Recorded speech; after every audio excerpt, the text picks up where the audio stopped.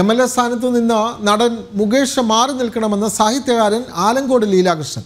ആരും നിർബന്ധിക്കാതെ തന്നെ M L A സ്ഥാനം രാജിവെക്കാൻ ഉള്ള ധാർമ്മിക ഉത്തരവാദിത്തം മുകേഷ് കാണിക്കണം. തെറ്റുകാർ ശിക്ഷിക്കപ്പെടണമെന്നും എല്ലാ മേഖലയിലും സ്ത്രീ സുരക്ഷ ഉറപ്പാക്കണമെന്നും ആലങ്കോട് ലീലാകൃഷ്ണൻ കോഴിക്കോട്ട് പറഞ്ഞു.